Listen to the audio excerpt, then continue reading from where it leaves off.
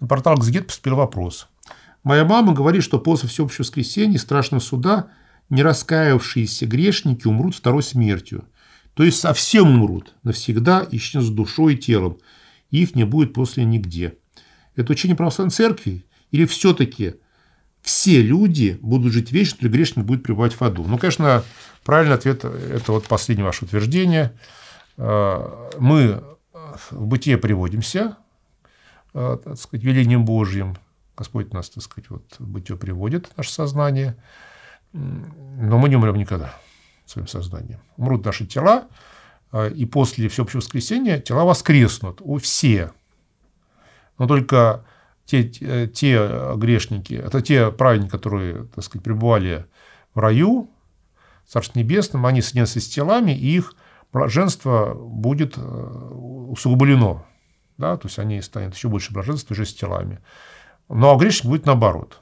Да? То есть они с телами тоже будут страдать. Вот, страдать. А, вот э, Христос Бога-человек. Он сейчас э, своим телом, как человек, ну, душа человеческая, своим телом пребывает э, одесной Бога. Ну, мы не знаем, что это такое, но это какое-то вот такое особое состояние этого вот человеческой природы Христа. Вот, оно пребывает вместе с Богом. Э, ну а Христос это вот то, куда мы должны идти. Конечно, той полноты у нас никогда не будет, естественно. Мы не Богу, мы богоподобные, но не, ну, только подобие Божье, если так его стяжаем. Э, ну вот, но по природе своей мы не, не боги. Не, вот. Но, тем не менее, вот мы туда должны идти, поэтому мы должны быть с телом. С телом и праведники, но и с телом и грешники. Вот. Э, единственное, что в этот момент надо понимать, что те люди, которые попадут в ад, у них уже добра не будет. Это люди, которые выбрали зло. И э, вряд ли мы захотим э, пребывать в раю с теми людьми, которые любят мучить детей, так сказать, издеваться над близкими своими и получать это наслаждение.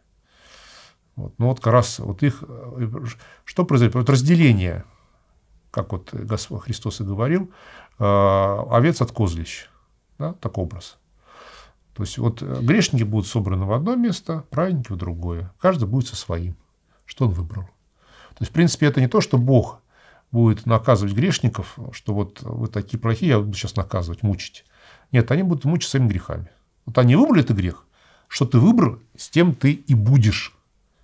И понятно, естественно, по э, своей, так сказать, э, сущности, человек, который выбрал добро, он будет в добре.